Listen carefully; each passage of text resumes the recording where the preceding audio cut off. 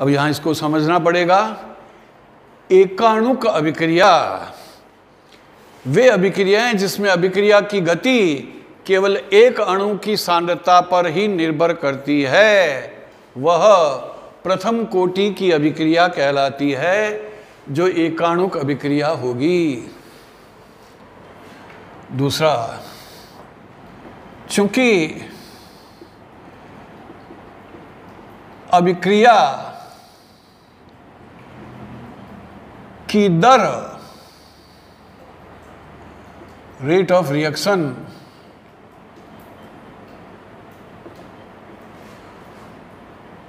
केवल एक अणु की सांद्रता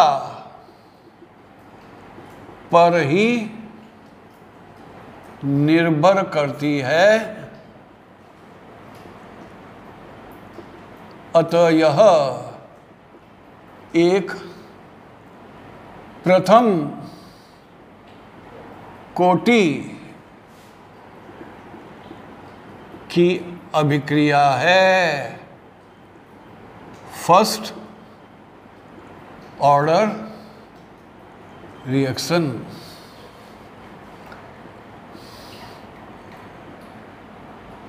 अभिक्रिया का वेग केवल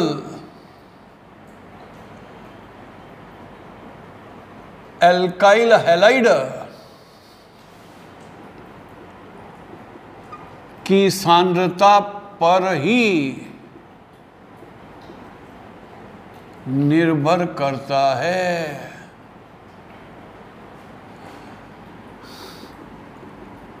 आक्रमणकारी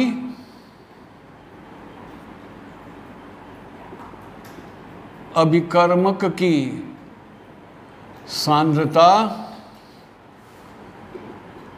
वेग को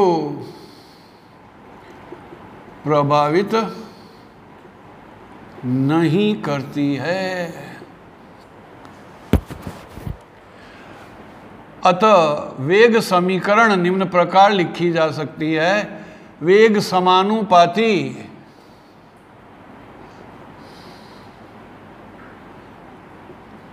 एल्किल हैलाइड या वेग इज़ इक्वल टू कांस्टेंट के इंटू एल्किल हैलाइड की सांद्रता बड़े ब्रैकेट में अपन पढ़ चुके हैं इलेवन क्लास में, सक्रिय द्रव्यमान या सांद्रता कहलाती है। यहाँ चूँकि अभिक्रिया की दर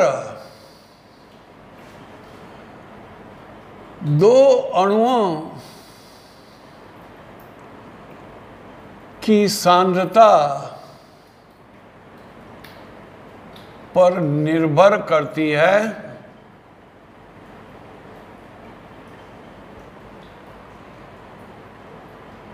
अतः यह एक द्वितीय कोटि की अभिक्रिया सेकंड ऑर्डर रिएक्शन है। अभिक्रिया का वेग न केवल एल्किल हैलाइड की सांद्रता पर निर्भर करता है अपितु आक्रमणकारी नाभिक स्नेही।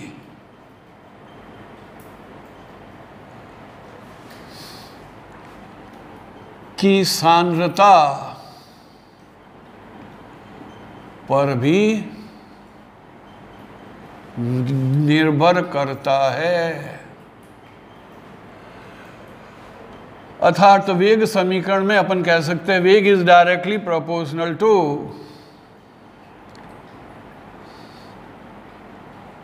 alkyl halide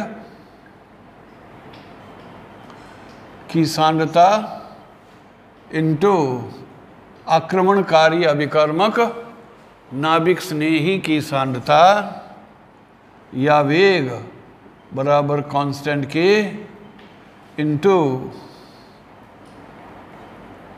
एल्किल हेलाइड की सांद्रता इंटू न्यूक्लियोफाइल की सांद्रता यहाँ के को वेग नियतांक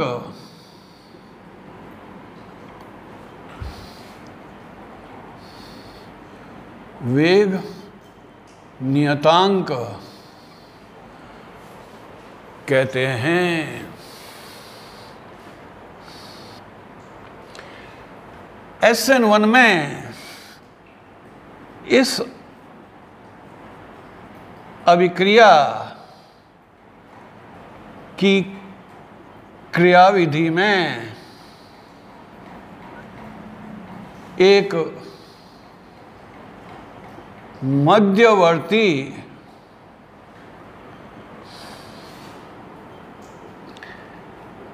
कार्ब धनायन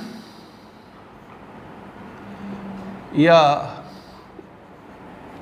कार्बोकैटायन बनता है।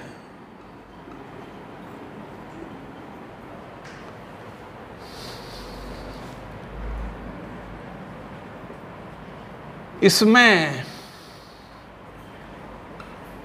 किसी भी प्रकार का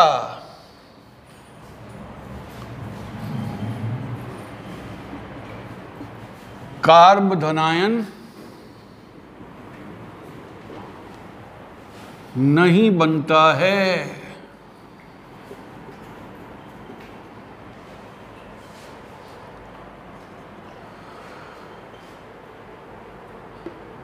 यहाँ कार्बोधनाइन इलेवन में पड़ा है कार्बोकैटाइन धनावेशित कार्बन को कहते हैं। मगर चौथा पॉइंट पहले मैं इसमें लिख रहा हूँ, इसमें एक संक्रमण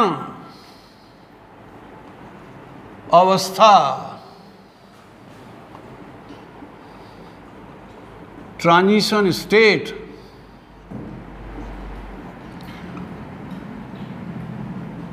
बनती है,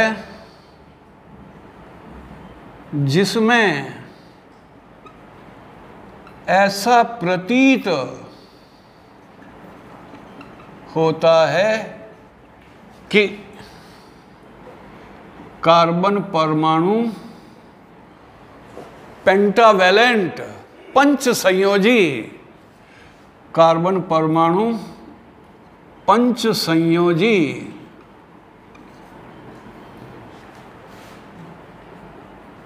हो गया है। वास्तव में कार्बन की संयोजकता तो चार ही है मगर पाँच समूह उसमें जुड़े हुए दिखाई देंगे। दो अर्धबंधित अवस्था में होंगे। इसमें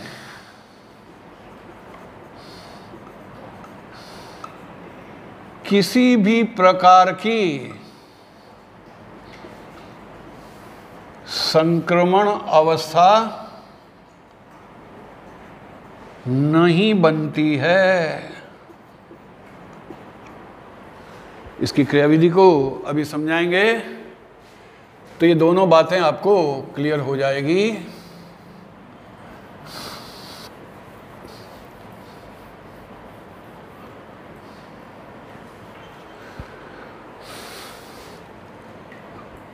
अब यहाँ फिर एक क्वेश्चन अति लघुत्तरात्मक के रूप में बोर्ड में या कंपटीशन में पूछा हुआ है, पूछा जा सकता है एस एन वन और एस एन टू का अभिक्रिया के स्टेप्स पर क्या फ़र्क पड़ता है? कितने पदों में संपन्न होने वाली अभिक्रिया है? और ये याद रखना होगा, ये बिल्कुल उल्टा है। एस एन वन यह अभिक्रिया दो पदों में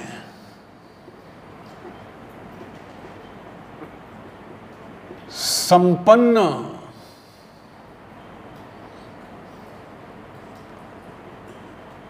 होती है। यानी एस एन वन जो है, वह तो दो पदों में होगी और जो एस एन टू है, वह एक पद में संपन्न होती है।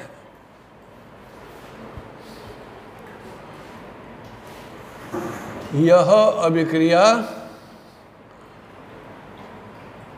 एक पद में ही संपन्न होती है। एक स्टीरियो केमिस्ट्री का चैप्टर आपके कोर्स में है। वहाँ थोड़ा डिटेल में पढ़ेंगे, यह समझना होगा। जब मध्यवर्ती कार्बोकैटाइन बनता है और इलेवंथ क्लास में पढ़ा है कार्बोकेटाइन में कार्बन sp2 संकरित अवस्था में है, त्रिकोणात्मक समतलीय जामिति है, अतः नाभिक स्नेही दोनों में से किसी भी ओर से आक्रमण कर सकता है, अतः बनने वाला उत्पाद रैसेमिक मिक्सर होगा। यदि क्रियाकारक ध्रुवण गुणक ऑप्टिकली एक्टिव पदार्थ है तो बनने वाला उत्पाद एक रैसेमिक मिश्रण होगा।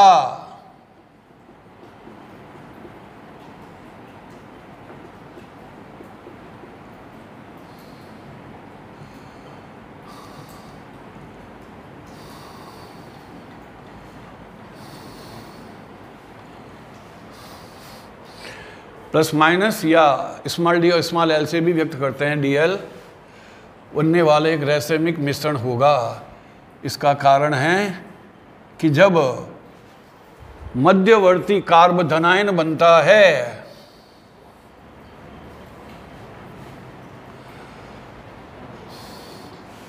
तो धनावेशित कार्बन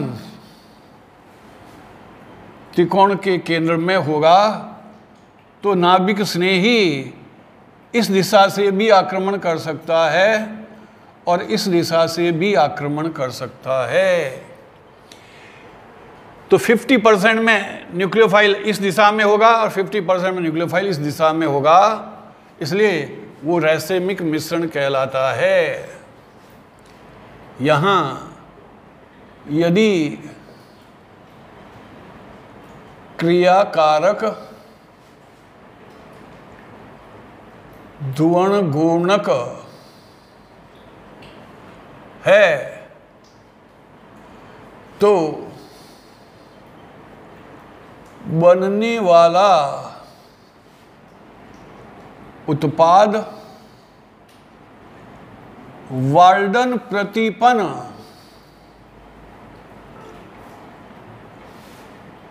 वाल्डन इन्वर्जन की भांति होगा। अर्थार्थ विन्यास परिवर्तित हो जाएगा। अगर क्रिया कारक में हेलोजन राइट डायरेक्शन में जुड़ा हुआ था तो उत्पाद में वो न्यूक्लियोफाइल उसके पीछे की ओर जुड़ा हुआ होगा। इसे स्टीरियो केमिस्ट्री में अपन कहते हैं वार्डन प्रतिपन। डेक्स्ट्रो से लेवो या लेवो से डेक्स्ट्रो में परिवर्तन। वह वार्डन प्रतिपन कहलाता है।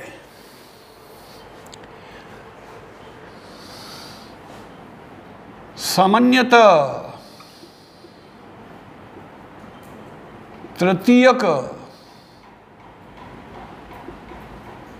एल्किल हेलाइट्स व कुछ द्वितीयक alkyl halides S N one क्रियाविधि दर्शाते हैं।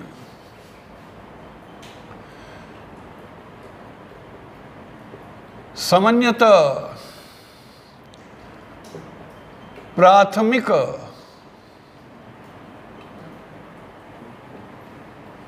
एल्किल हैलाइड व कुछ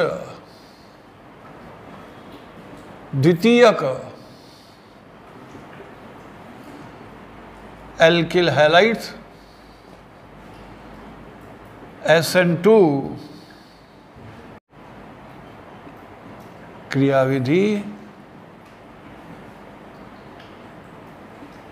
दर्शाते हैं। बोर्ड में कई बार एस एन वन और एस एन टू में अंतर पूछा हुआ है कि विभेद कीजिए तो उसमें मुख्य तीन पॉइंट चार पॉइंट पाँच पॉइंट जैसा क्वेश्चन है, अति लघुत्तरात्मक है। तो ये दर वाला बताना ज़रूरी है। एस एन वन में एक पद में एस एन वन दो पद में और एस एन टू एक पद में, यानी उल्टा है। वन और टू तो ऑर्डर ऑफ़ रिएक्शन को समझाता है। ये इन दोनों में विभेद हुआ और अब इनकी क्रियाविधि को समझाने जा रहे हैं।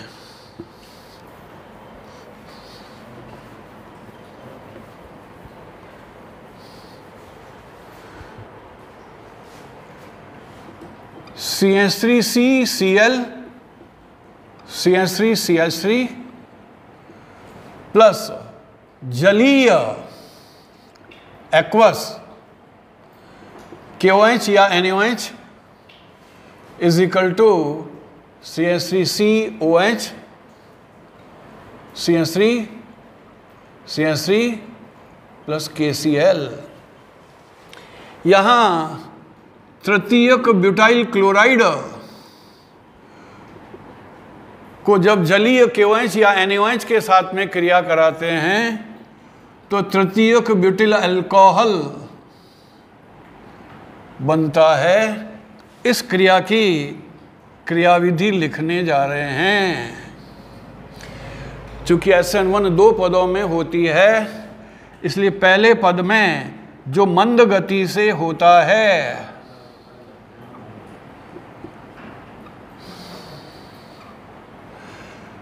कार्बन हेलोजन की विद्युत ऋणताओं में अंतर होने के कारण साजित इलेक्ट्रॉन इस तरफ़ विस्थापित रहेंगे। अतः कार्बन क्लोरीन का सिग्मा बंद का विषमांश विखंडन होगा। यह मंद गति से होता है। और जो मंद गति से होता है, वही वेग निर्धारक पद होता है। तो एक कार्ब धनायन बनता है।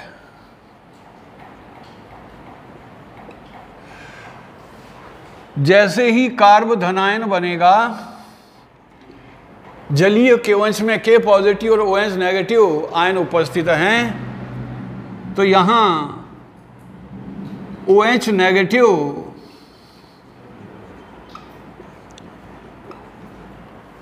एक नाभिक स्नेही का कार्य करेगा और वह तेज़ी से फास्ट इसकी ओर आकर्षित होगा, जिसे C O H C S three C S three C S three अब यहाँ विलियन में के पॉजिटिव पड़ा है और सी एल नेगेटिव बना है, वो आपस में मिलकर के के सी एल बना देंगे। तो अभिक्रिया का वेग जिसे अपन वेग समीकरण कहते हैं के इज़ इक्वल वेग बराबर के into active mass of tertiary butyl chloride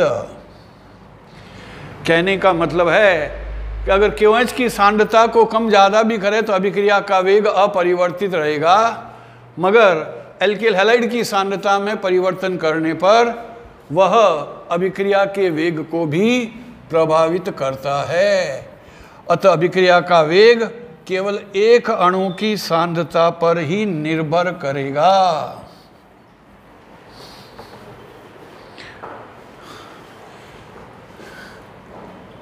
CS three C L plus aqueous K H या N H is equal to C S three O H plus K C L शुरू में पढ़ा था carbon sp3 संकरित अवस्था में है। तो sp3 संकरित अवस्था में सम चतुष्फलकीय ज्यामिति होगी। कार्बन हेलोजन जिस दिशा में है उसके ठीक विपरीत दिशा से ओ OH नेगेटिव इस पर आक्रमण करेगा, जो न्यूक्लियोफाइल है। और वह इसके साथ में अर्धबंधित अवस्था में जुड़ जाएगा। इसको अगर देखें तो इसमें पाँच समूह जुड़े हुए हैं। अपन ने कहा था, कार्बन पंच संयोजी या पेंटावेलेंट हो जाता है, जबकि वास्तव में ये दो अर्धबंधित अवस्था में हैं। यह ट्रांजिशन स्टेट, संक्रमण अवस्था कहलाती है। अब जैसे जैसे कार्बन हेलोजन बंद का टूटना होगा वैसे वैसे कार्बन ओएच बंद का बनना होगा। अतः अभिक्रिया का वेग दोनों की सांद्रता पर निर्भर करेगा। और ओएच जिधर सीएल जुड़ा हुआ था, उसके ठीक विपरीत दिशा में होगा। यह वाल्डन प्रतिपन कहलाता है। यह अल्कोहल का फॉर्मेशन हो गया। मैथिल अल्कोहल त्रिविम आकाश में जिस दिशा में हेलोजन था, उसके ठीक विपरीत दिशा में, चूँकि ये तो ऑप्टिकली एक्टिव नहीं है, अगर ये तीनों समूह कोई भिन्न भिन्न हो तो ये ऑप्टिकली एक्टिव होगा। तो ये डेक्स्ट्रो अगर है तो ये लेवो हो जाएगा।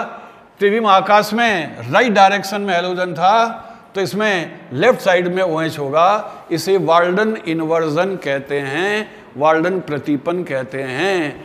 अतः अभिक्रिया का वेग इन दोनों की सांद्रता पर निर्भर करेगा। यह एक द्वि अणुक अभिक्रिया है C S three C L और यह आक्रमणकारी अभिकर्मक एक्वस केवंच है। ये इस बात की पुष्टि करती है कि यह द्वितीय कोटि की अभिक्रिया है।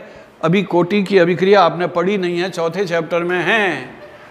किसी प्रायोगिक वेग समीकरण में उपस्थित सक्रिय द्रव्यमानों के घातांकों का योग उसकी अभिक्रिया की कोटि कहलाती है।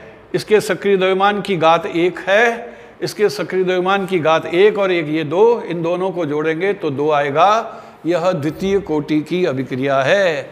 इसे केमिकल काइनेटिक्स में अपन पढ़ेंगे और बाद में जब स्टीरियो केमिस्ट्री पढ़ेंगे तो डेक्स्ट्रो और लेवो का ज़िक्र भी वहाँ पर समझाएँगे। इस क्रियाविधि को ध्यान में रखते हुए अब अनेकों रिएक्शंस यहाँ पर आपकी आएगी, जिसमें नाभिक स्नेही उस पर आक्रमण करता है। वह एल्किल समूह की प्रकृति पर निर्भर करता है कि वह एस एन वन देता है या एस एन टू देता है। हाँ एक बात और जो कंपटीशन के लिए इम्पोर्टेंट है, जो मैंने नोट्स में नोट के रूप में नीचे लिखी है, वह है अभिक्रिया का पथ एस एन वन से एस एन टू या एस एन टू से एस एन वन में परिवर्तित किया जा सकता है। अगर विलायक की उपस्थिति परिवर्तित कर दी जाए, सामान्यतः ध्रुवीय विलायक कार्बधनाइन के स्थायित्व को बढ़ाते हैं। अतः जितना ज़्यादा कार्बधनाइन का स्थायित्व होगा एस एन वन की क्रियाविधि उतनी ही आसानी से होगी। अपन कहते हैं methyl chloride ethyl chloride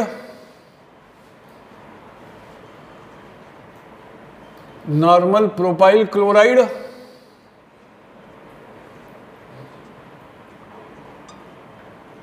normal butyl chloride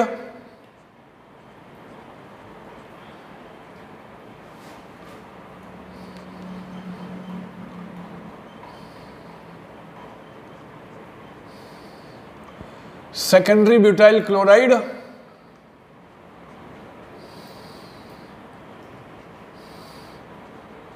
और टर्सरी ब्यूटाइल क्लोराइड इनमें हेलोजन के निकलने से ये तीन डिग्री कार्ब धनायन बनेगा जो सबसे ज़्यादा स्थायी है। ये दो डिग्री बनेगा, ये एक डिग्री है। इसलिए इनकी क्रियाशीलता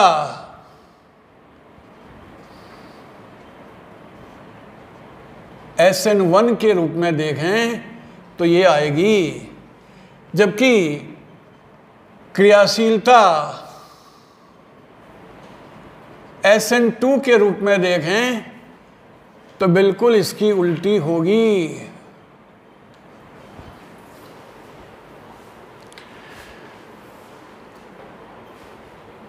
समान एल्किल मूलक और भिन्न भिन्न एल्किल हैलाइड अगर प्रयुक्त करते हैं halogen R F R C L R B R और आर आई ये सभी समान हैं तो इनकी क्रियाशीलता का क्रम, चाहे वो एस एन वन हो, चाहे वो एस एन टू हो वह इसी प्रकार का रहेगा। समान एल्किल समूह होना चाहिए तो वह एस एन वन व एस एन टू दोनों में समान प्रकार का होगा। बोर्ड में पूछा हुआ है, कंपटीशन में कई बार पूछा हुआ है, different alkyl group, same halogen, different halogen, same alkyl और डिफरेंट एल्काइल ग्रुप के साथ में डिफरेंट हेलोजन, जो अपन पहले बता चुके हैं। इस तरीके से इसकी आगे अपन शुरू करेंगे नाभिक स्नेही प्रतिस्थापन अभिक्रिया। ये दोनों क्रियाविधियों को ध्यान में रखिए। That's all